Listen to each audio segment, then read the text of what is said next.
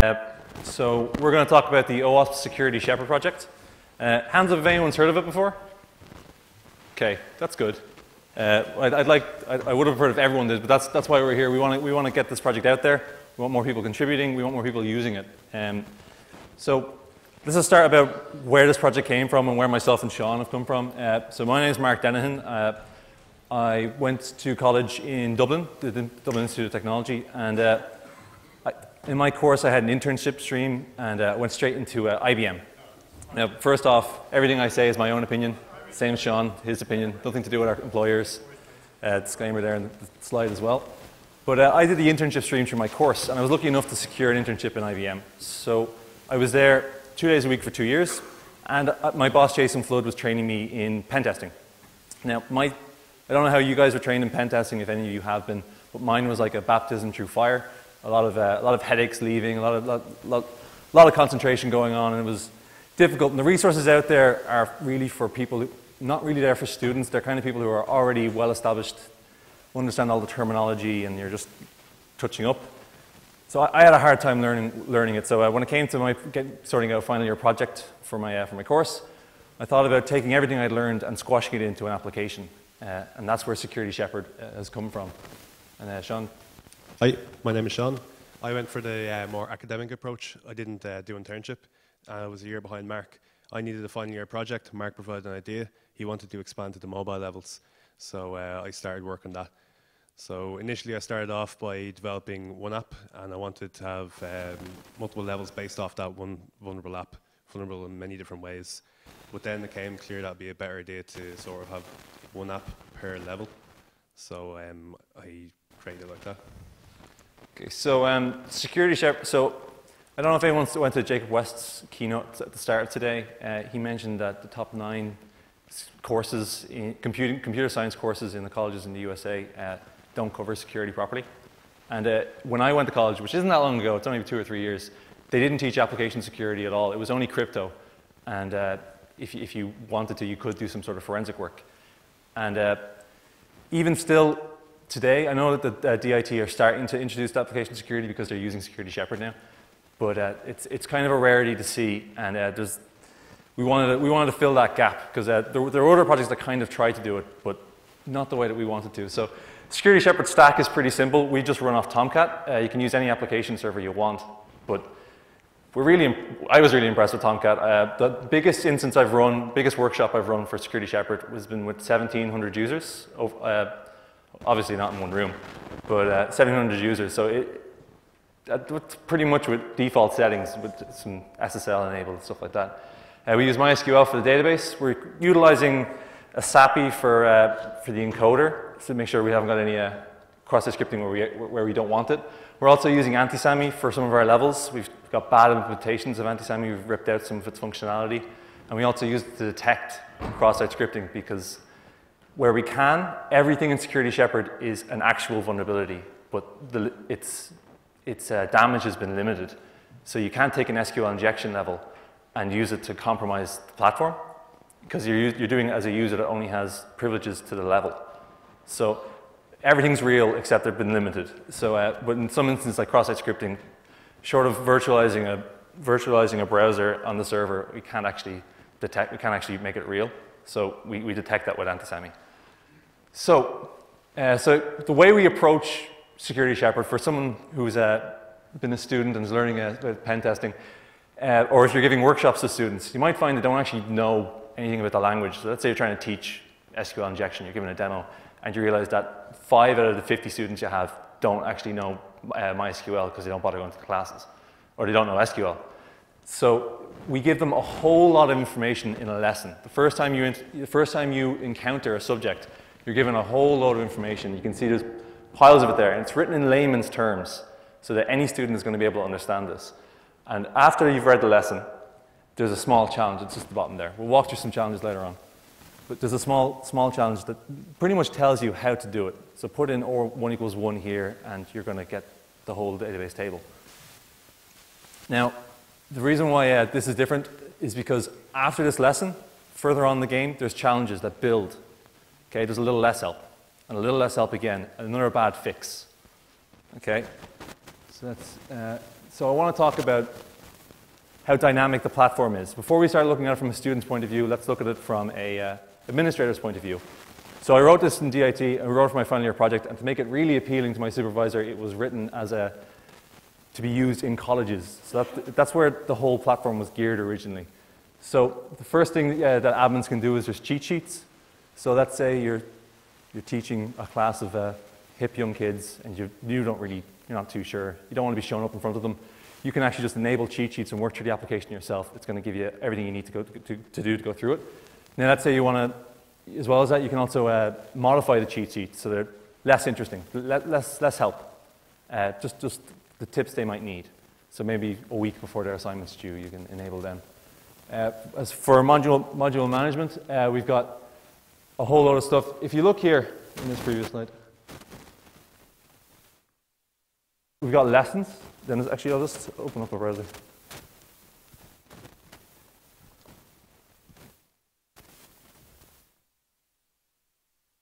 So uh, this is this is the way we're going to show Shepherd. I'll just show you as it goes. So at the moment, it's in a capture flag kind of style because originally we had it as a, you can just do it in any order you want, kind of similar to how WebGoat does it. But uh, we realize it's not very engaging. If you sit a room of students or you just give them free reign, they're just going to get bored. Uh, they'll have everything they can possibly do. They're just going to get sick and tired of it. They're not going to do it. So what we started doing instead was we had it in a CTF kind of uh, layout.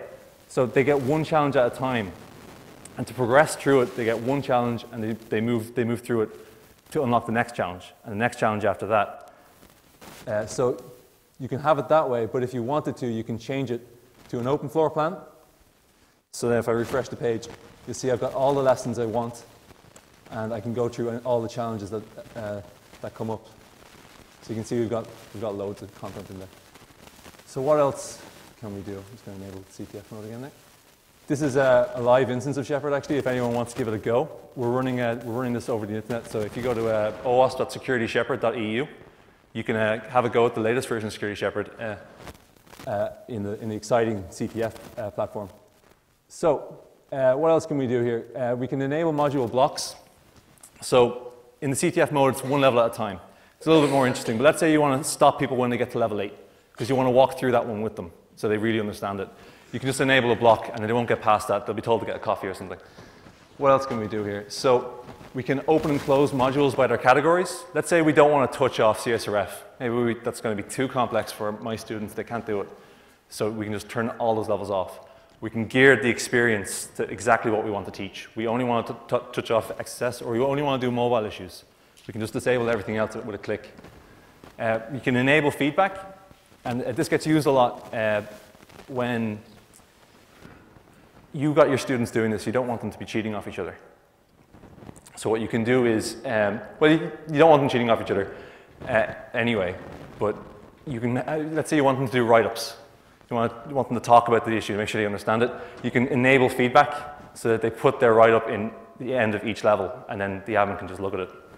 Easy as pie. So, sorry guys. As well as that, if you're running a workshop, it's kind of difficult to read the room sometimes. Um, sorry, view progress. It's kind of difficult to read the room sometimes and hard to tell who's lagging behind. So you can just get the progress and see how people are doing. So we've got three people on the live instance at the moment. One guy's done five modules, one guy's done one.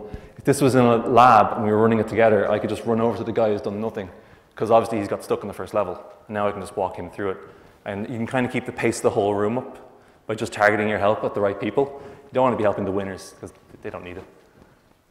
Okay, so user management, this is, uh, there's loads of stuff in here. You can create admins, upgrade, upgrade people to admins, add mass amounts of players at a time. If you want to, uh, if you want, you can close registration. So you can only have a very specific amount of users. You can just throw in, throw in all, your, all your class, and then only they can sign in. If people hit this, they won't be able to register, and then they can't get into the application. Okay, and then there's configuration as well, just uh, for setting your DB credentials if it's non-standard, and all those sort of things. So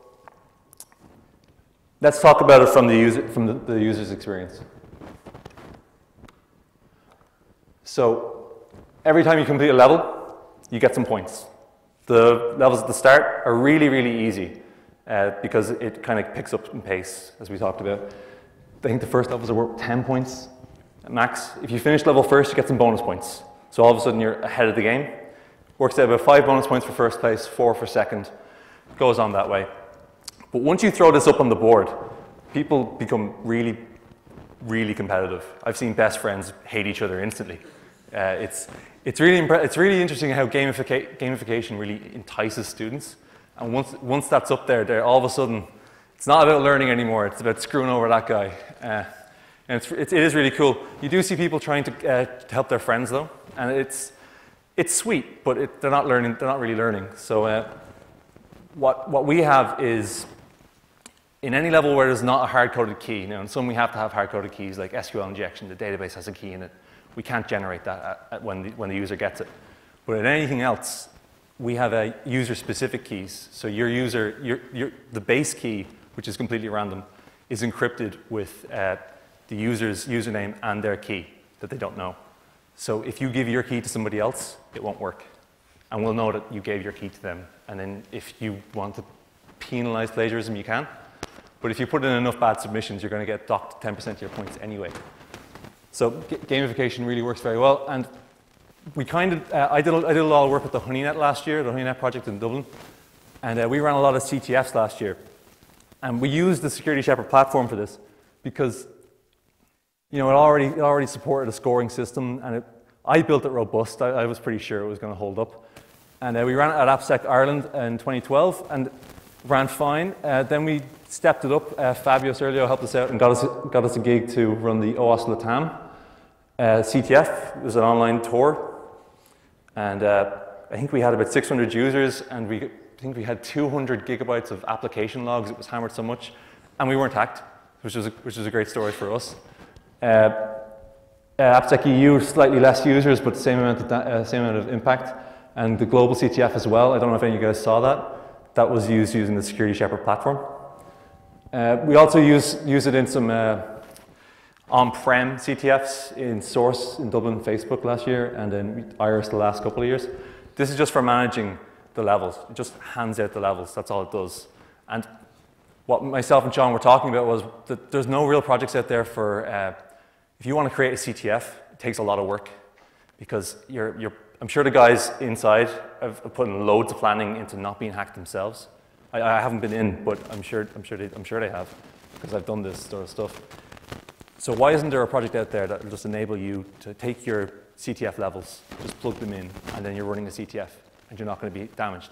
So the Security Shepherd platform is becoming is being forked into just to do that as well. So let, us let's, let's dig into uh, some some levels. So, has anyone ever tried to teach CSRF to a student? No? Yeah? Is it difficult? Yeah, they don't get it. It's, it's, really, it's really bloody hard. So, um, see it, so I think that what we do for CSRF is kind of unique. So, here's the application, we're signed in.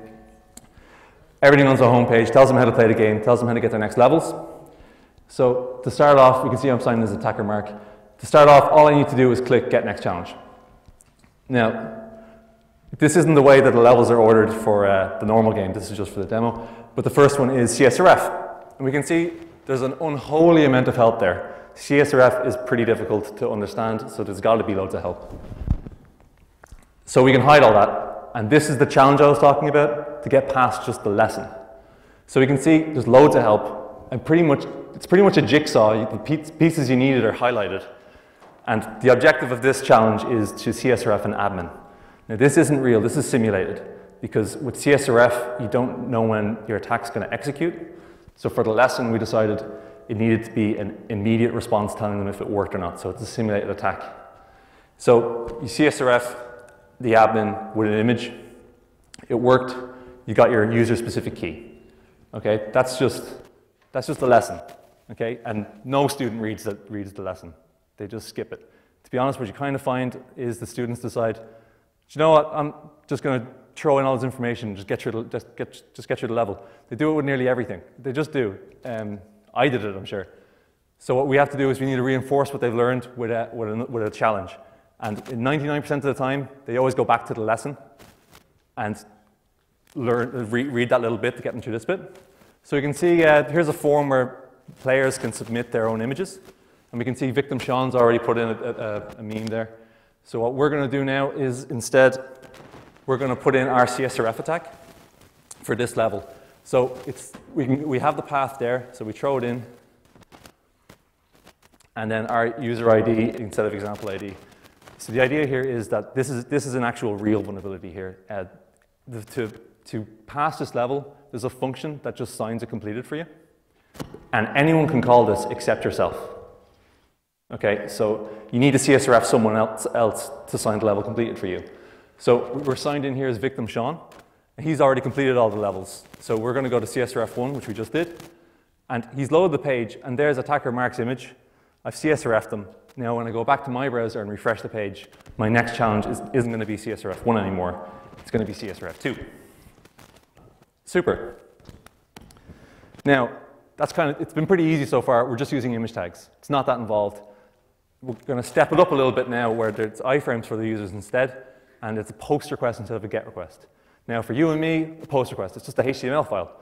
But for a student, they're tearing their hair out, they don't know what to do. They have to go back to the lesson again and read about the post request part. So all we need is a HTML page. I've got one prepped. There we are. Um, it, it, just, it just forces the browser to send a request. So I, have got that on Dropbox. So i am uh, going to just put the Dropbox link in there, post a message, and we'll see when it loads up here, it's going to say increment failed. Because I can't increment my own CSRF counter, I need someone else to do it. Okay, this is another real issue. It needs to be well formed for it to work. So Sean signs in, CSRF2, and we can see the increment was successful there. He signed it. Okay, so we're building slowly for the students, okay? Uh, they, they, they, do get this. Uh, it's, it's, the best way to teach them CSRF, in my experience. It's better than any talk, anyway. So now we've got them doing very simple CSRF. What, if, what about now bad fixes? Okay, so the next challenge I'm going to talk about is CSRF Challenge 4. So uh, we can see that it's another post request. And we've got an example ID, but this time there's a CSRF token that needs to be in the request as well. So let's, let's actually have a look at this. So first thing we're going to do is we're going to update our uh, attack, our attack so that we have a CSRF in there as well.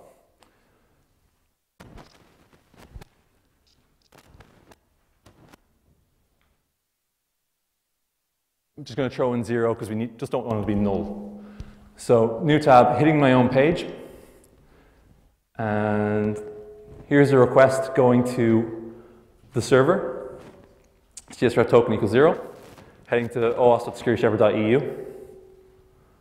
And we can see the increment failed. Okay? We'd expect that. We can't do it to ourselves, but let's dig into it a little bit further. We can see that I'm actually sending it to the wrong place. It should be CSRF 4. So we click go, and in the response we can see no CSRF detected for this challenge. Your token is now 1. 1 is a really shitty CSRF token. I think we can all agree. So, and the more we dig into this with, with new sessions, we can see that there's actual predict, really, really easy to predict all the ones. There's 2, there's 1, and there's 0. And if you do it enough, you realize they're the only possible CSRF tokens for this level. So now, the, now your student needs to step up a little bit. They're not just sending one request, to guarantee they solve this level, they need to send, make your browser send multiple post requests to ensure they're going to pass the level. So we can see there's our, there's our attack vector. And when we load it up as victim Sean, we can see, boom, two of them failed, one of them worked. Okay, so that's, that's how we teach CSRF with, uh, with Security Shepherd. Now, I challenge anyone to, to, to improve on that because I, I can't think of a better way to show it. Um, CSRF is the most difficult thing for students to understand, and when they've gone through it on that, they're actually capable. They understand it. They know that they need tokens. They know that they need random tokens. And as the, as the levels go on, they know that they need to have secure uh, nonce storage, and you can't be able to get other people's nonces. So I'm going to hand over to Sean, because Sean specialized in making all the mobile uh, content for Security Shepherd. Okay, so um, when I was putting together the mobile content for Security Shepherd, I decided to call the apps Mobile Shepherd. Um, the biggest challenge was how to deliver these apps. I could provide them to the user individually, so I could upload them to the Android market, but you'd have to download all these applications individually. And they were too singular in purpose to be on the market anyway. Uh, secondly, like they, people would have to set up the Android SDK, and maybe not everybody who takes part in these challenges is an Android developer. Thirdly, the Android emulator, in my opinion, isn't great. It's kind of slow, so that's also not a viable option. So what I decided to do was I, uh, I looked out, did some research, and I found the Android x86 project. It releases um, an open source Android VM regularly. So what I've done is I've created my levels, I've released and signed them, and I've loaded them onto the Android x86 project. All you have to do is download a VirtualBox image and import into VirtualBox, and then you have the environment for Mobile Shepherd set up. So I'm going to go over some of the lessons I have already. So this is what it looked like to start. Insecure data was lesson number one. So we got a username and login. The vulnerability, vulnerability isn't here. So what we're going to do is we're going to look elsewhere. As you can see, the account is locked. So the target here is an administrator account. So Alt F1 throws up the command line interface, and we go to the data directory where all the apps are usually stored. So we identify, we, we see them all there, and we identify the one we're looking for, which is IDS, Insecure Data Storage. So whenever you're using a database in an app, a folder called databases will be generated and the DB files will be there. So usernames and passwords are all stored in the DB file, and as you can see, the admin password is in plain text. So there it is there, battery 777. And that is also the key to pass the level. It's important to remember that all these levels that Sean's walking through have, have uh, when you load them up in the web app, there's descriptions on what you need to do. Uh, client-side injection. This is uh, client-side injection part one. So you can't really attack the database in this instance because it's been encrypted, but the, there, is a, there is a username and login, and that's vulnerable to injection. So what we're going to do is we're going to escape input, throw in an OR, a condition which is always equal to true, and comment out the rest of the statement. And we're logged in, and that's the key there. I've tried to keep my keys sort of more readable and a bit more short. So if you're passing data between the emulator, or sorry, the virtual machine and the web app, sometimes maybe you can't copy and paste, so it's just quick to type them out. So this is uh, reverse engineering. We're going to skip to a challenge in this one because we've already gone over how to reverse engineer an Android app with the users in this. So we've used dex2jar to turn it into a jar file, and we're opening the jar file now, and we can see that there's a key check. Now there isn't a hard-coded key there, which the user would have been looking for beforehand. So what we're going to do is we're going to identify the key check function. We're going to extract it, and we're going to add it into our own Java program. And from there, we're going to run it and see what it outputs.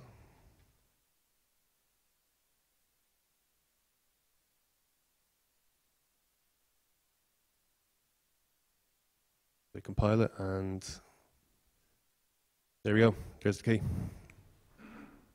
This is a follow-up from lessons previously where we would go over how to actually reverse engineer the Android app. And the first thing you're getting is simply a hard-coded string. We carry on from there, go to challenge one. The string is hidden somewhere. It's been obfuscated.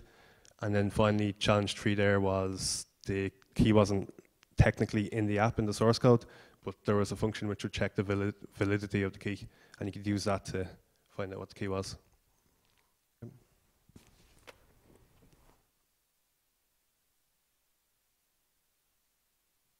So just uh, just to go over that, that was um, insecure data storage three. We go insecure data storage. We go over all this on the web app. There's a massive explanation, and like I'm, i mean, it may look like I'm just flying through some command line interface stuff there, but it's all explained in the web app. The commands, the directories, why apps do this. It's uh, it, it was very easy to integrate like mobile applications into Security Shepherd. All I had to do was just generate a JSP page and an insert statement for the SQL core file we had, and that was it. Um, back to the client-side injection issue there, that was the query we used. I noticed when I was uh, learning Android application development, a lot of textbook examples didn't take security at all into consideration, and that was a good and bad thing. Good in that I could use those examples as examples of insecure code in my apps, but also I had to look elsewhere for examples or guidance to create secure applications.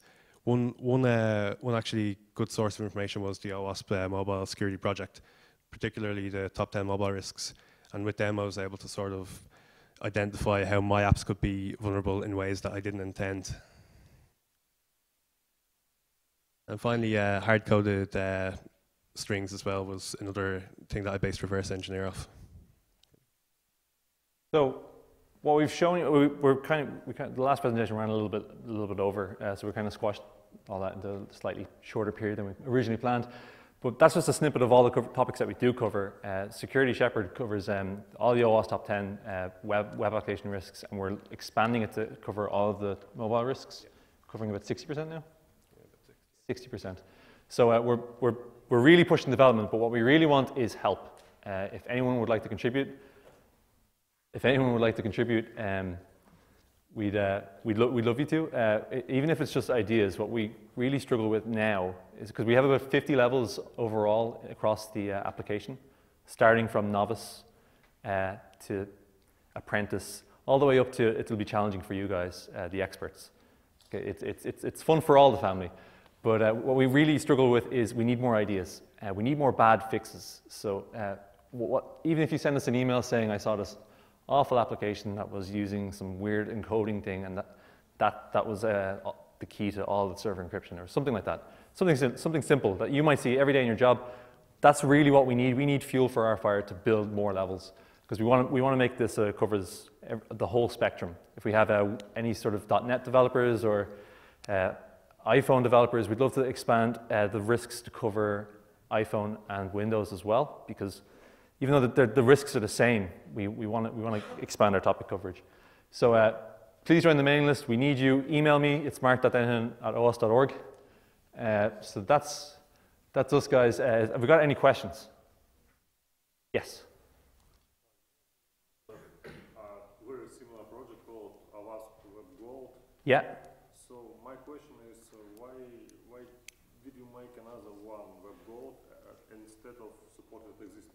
Okay, so the question was, uh, why did you remake WebGoat? Yeah. So um, when I was learning security, uh, security uh, WebGoat was kind of a really dated uh, application, and all of the vulnerabilities in it were simulated. And I had used WebGoat in, in workshops, and some of the levels didn't work, some of the levels did work, and they weren't really, they didn't really follow a, a, a curve like Security Shepherd does. It kind of just this is, this is what the issue is, and this is what the issue is. It doesn't build with bad fixes. It kind of just, it's, it's a great platform for getting to understand the concepts, but this, this is built to be a better version. I'm asking because, you know, there is uh, a, a lot of open source projects, and at the same time, all of them needs new developers and so on. Yeah. Everybody great, each arm new. The, the, the, the, real, the, real, the real nail in the coffin for me not to have expanded WebGoat instead was that I needed a final year project for my undergrad. And I couldn't expand someone else's project. So I built this. And then after I built this, it, it was such a polished tool, so just, just uh, fresh blood, that uh, I, I released it as a project. That's really why it exists. But I, I, I web, WebGoat's in, uh, in, in, development as well. It's, it's, if anything, it's healthy competition. Uh, do you have, um, does your project have affinity to localization or translations or something like that? Not at the moment, but we would absolutely love developers to help us do that. I think, I'm pretty sure you just volunteered. The question was if we, if we support uh, multiple languages. Not yet, but I'll talk to you afterwards, okay? In the pub? A Couple points? Good, good stuff. Any other questions? Yes. Yes. The question was, is it possible to put your own content in Security Shepherd? Um, yes, it absolutely is. At the moment, it's a slightly more involved process than I would like. Uh, Sean was just talking about it there. You just need to make a, if you have your own, let's say it's a downloadable Java file, you need to be reverse engineered, then you just need to make a JSP page that points to it and describe, talks about it. Uh, if it's more involved, maybe it's, it's actual, it's a web application risk, there's a couple more steps that are needed. But there, there is wikis on the, our GitHub to help you do that. So uh, email me and I'd, I'd love to help you plug it in. And we want that process to get even easier. So feedback on that process would be great because we want to make the, the CTF framework that it's literally just the easiest thing to throw all your content in. Any other questions?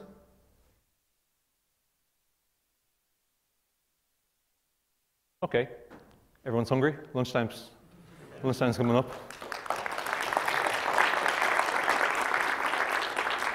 Thanks, guys. If anyone gets a chance, please check out uh, owasp.securityshepherd.eu and uh, have, a, have a play. You might learn something.